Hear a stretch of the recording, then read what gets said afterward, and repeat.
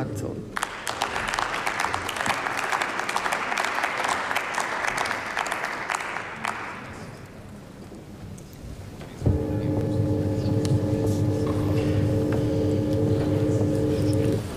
Sehr geehrte Frau Präsidentin, liebe Kolleginnen und Kollegen, und Frau Präsidentin, erlauben Sie mir, dass ich auch äh, die Besucher und Besucherinnen begrüße, vor allen Dingen eine kleine Gruppe aus Paderborn, die heute bei meiner ersten Rede mit dabei sein möchte.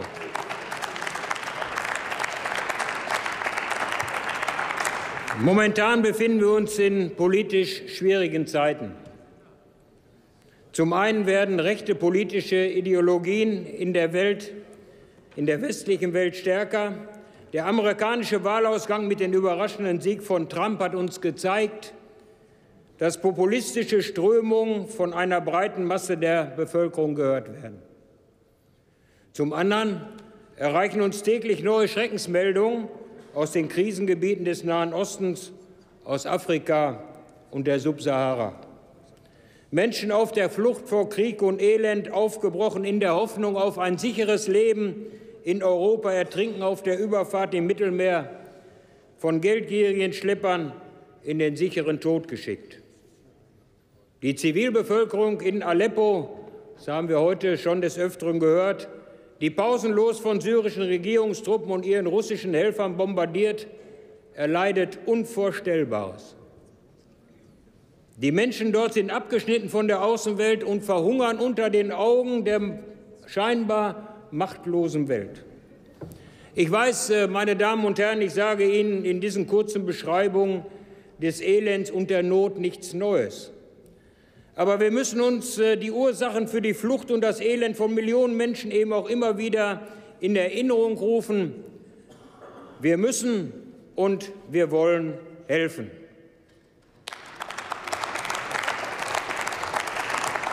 Bei allen Herausforderungen und Krisen dürfen wir dabei aber unsere eigenen Werte und Prinzipien nicht vergessen.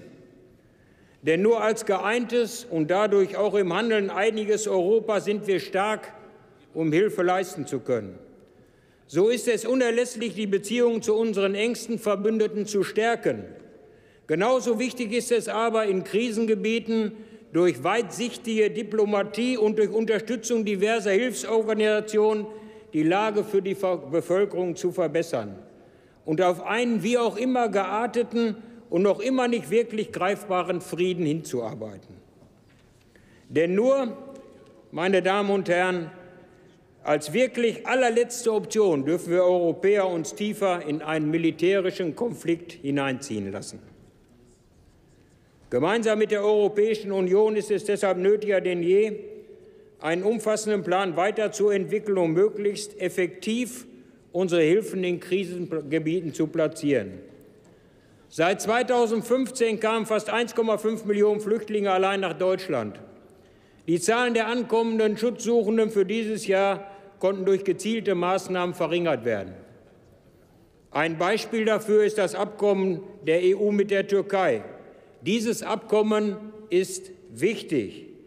Jedoch fordert uns dieses gleichzeitig dazu auf, in politisch instabilen Zeiten der Türkei mit ihrem Präsidenten Erdogan und der Unsicherheit über das Weiterbestehen des abgeschlossenen Abkommens zukünftig die Rücknahmeabkommen mit den nordafrikanischen Staaten und im Speziellen auch, wir haben es vorhin schon gehört, Ägypten zu forcieren. Die Europäische Kommission arbeitet genau an diesen Abkommen, denn dies führt dazu, dass Menschenleben gerettet werden können, wenngleich es die Fluchtursache selbst ansatzweise nicht berührt. Meine Damen und Herren, wir dürfen uns deshalb nicht nur auf die diplomatische Kunst verlassen. Vielmehr müssen wir dort, wo noch oder schon wieder Frieden herrscht, Aufbauhilfen durch Investitionen vor Ort leisten. Eine Möglichkeit der nachhaltigen Investitionen ist die Gründung von Wissenschaftspatenschaften in Transformationsländern wie beispielsweise in Nordafrika und dem Nahen Osten. Dadurch öffnen wir den Menschen in ihren Heimatregionen oder zumindest heimatnah endlich Hoffnung und fördern gezielt den Aufbau von wirtschaftlichen Strukturen im Sinne der sozialen Marktwirtschaft. Stabilität in Krisenregionen können wir nicht alleine schaffen. Nur ein geeintes Starkes Europa ist dazu in der Lage. Ein weiteres Beispiel für den gezielten Einsatz von äh, Investitionsmitteln ist der momentan diskutierte Europäische Fonds für nachhaltige Entwicklung. Der Europäische Rat beabsichtigt mit diesem Fonds Anreize für private Investitionen in Afrika und den südlichen sowie östlichen Nachbarschaften zu schaffen. Ein wichtiges Signal werden wir durch unsere Präsidentschaft im Rahmen der G20-Mitgliedschaft ab Juli 2017 setzen.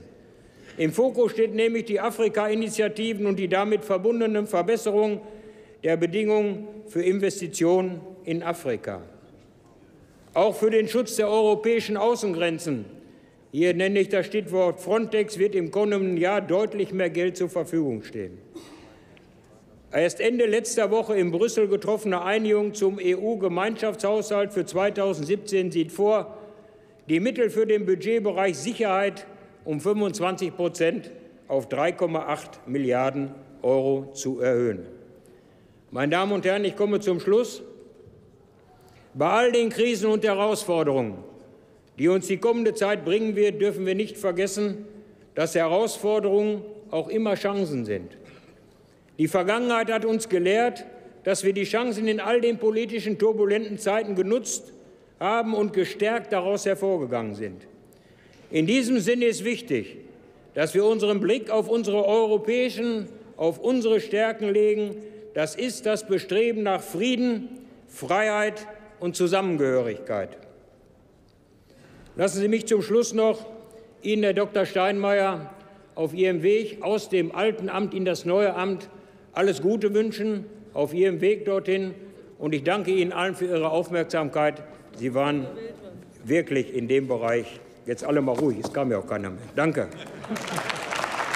Vielen herzlichen Dank, Karl-Heinz Wange.